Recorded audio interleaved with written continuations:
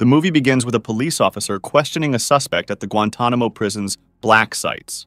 These websites are technically non existent.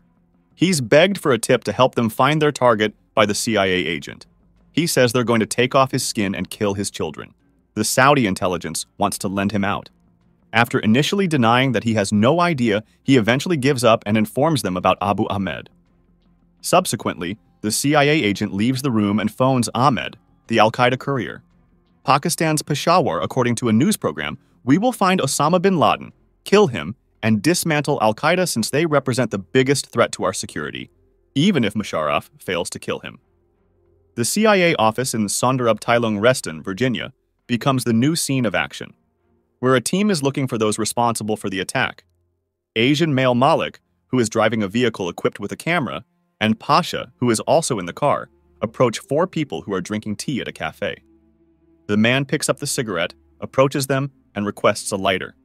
The target face is matched with the person's face by the CIA team. He places something in that person's pocket before exiting and waiting in the car. When the target exits the building and gets into a car, a CIA agent follows. They claim that the target individual works as an Al Qaeda courier. The target departed Peshawar and moved in the direction of Abbottabad. As they were receiving instructions from the CIA, the two people followed him. A guy tells President Obama that they have a person who was an Al Qaeda courier, but they are unsure if they are still in contact. In addition, there have been more airstrikes in the Helmand province of Afghanistan. The next shot showed three CIA officers walking into the bathroom. They talk about the rise in American strikes. Furthermore, they assert that Pakistan formerly accepted aid from other countries, supplied bases, and looked after Osama bin Laden. They think that killing bin Laden with a bomb in Tora Bora is the best course of action, but they need proof that he is dead. They want their DNA to match. Every more proof is also attached. Then, an army unit and a six person SEAL team transporting two Afghan men to Kandahar base while wearing head coverings. Joint Special Operations Command had issued the directives. The CIA is identifying the armed Afghan guys on the opposite side, but its cameras show no signs of weaponry as four people move in their direction. An Afghan guy and a lady in hiding moves on. They were halted by American soldiers. Another soldier requests that they search the Afghan guys and the woman who is with them. Army soldiers advise against using older people, children, or women to conceal explosives. They are reluctant to allow searches of their ladies. Suddenly, gunfire begins to rise from the mountains. The shot hits an American soldier. He collapses on the floor. They all set a fire on the mountain where the bullet came from. The troops spared him since his clothing was bulletproof. The CIA agents peered, but could see nothing out of that area. Resuming fire from the summit, the U.S. infantry scrambles to hide behind another hillside. They fire the shot in an attempt to kill the Afghan man firing from the mountain. Two Afghan boys are killed by an American soldier. Now that everything is apparent, they think they should move in with the Afghan family. One of them sets off the device that murdered D Punch, the military guy, and destroyed the family in the interim.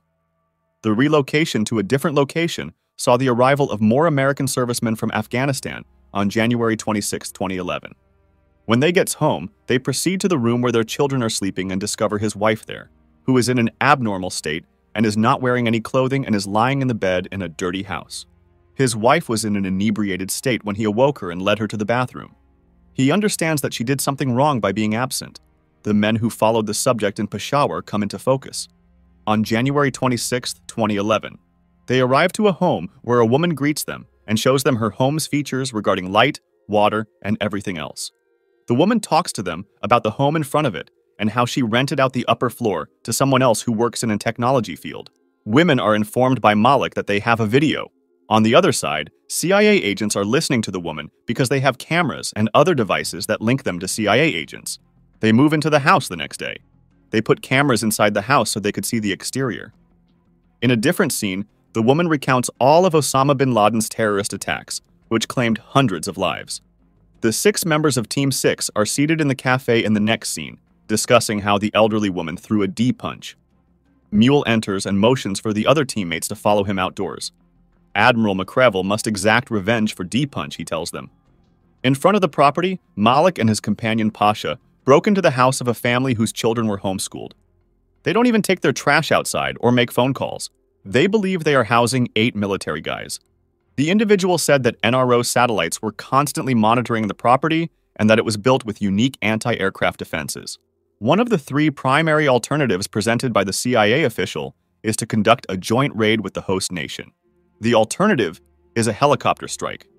The senior official responds that the compound is made in a flood basin when someone inquires about the tunnel option. JDAM, or Joint Direct Attack Munitions, is the third possibility, but if the target is already dead within the facility, no one will be able to tell if he was there or not. They claim that they are still unsure about whether or not Osama bin Laden is present. Mule receives a call from the CIA informing him that his wife was killed in an attack, but he claims that finishing the objective and not getting even is his top priority. They relocate to Jalalabad, Afghanistan, where Mule informs his squad that everyone is interchangeable and brings a dog for training exercises. When Stunner informs Cherry he has to go see the CO and asks to be the team leader, they get into a fight.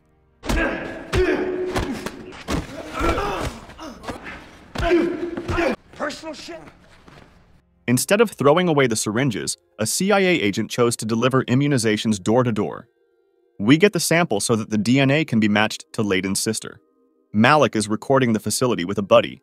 Gidry is in favor of vaccinations. They proceed to knock on the complex's door, which they eventually open, but one of their group members eventually ejects them. These days, the CIA uses facial and speech recognition.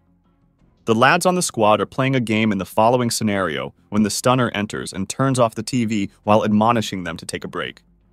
He claims that we should concentrate on finishing the assignment and returning home safely. Christian, who is also a CIA officer, claims that they only need to deploy a JDAM strike, since, in his opinion, doing otherwise will place their squad in an untenable predicament.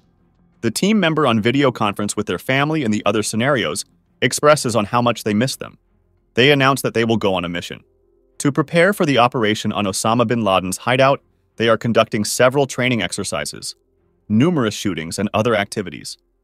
Malik and Pasha follow the car as two ladies exit the complex.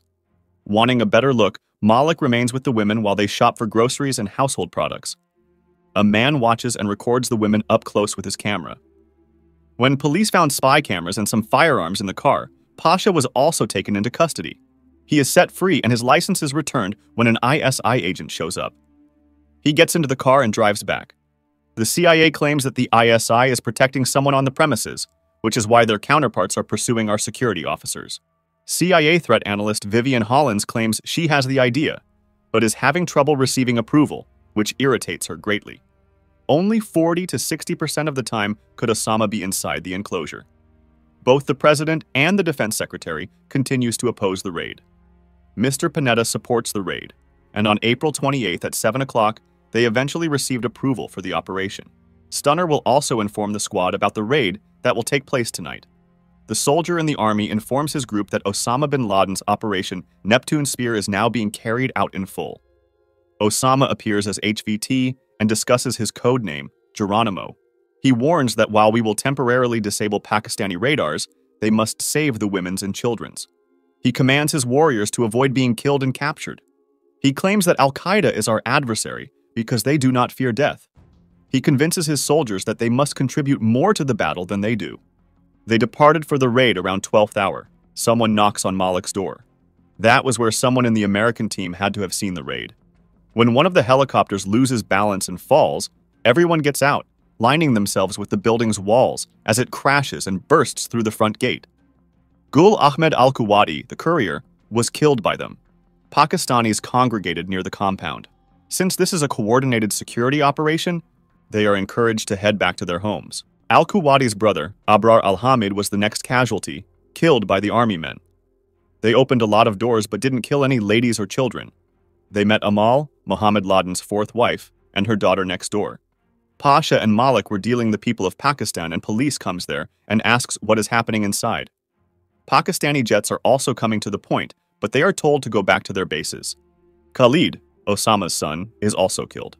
Pasha explains to police that call was Osama bin Laden, whom they killed at last. The death of Geronimo is reported by Stunner to the CIA. Osama bin Laden, who was in charge of the killing of numerous innocent people worldwide, was assassinated in an operation, while President Barack Obama announces to the nation.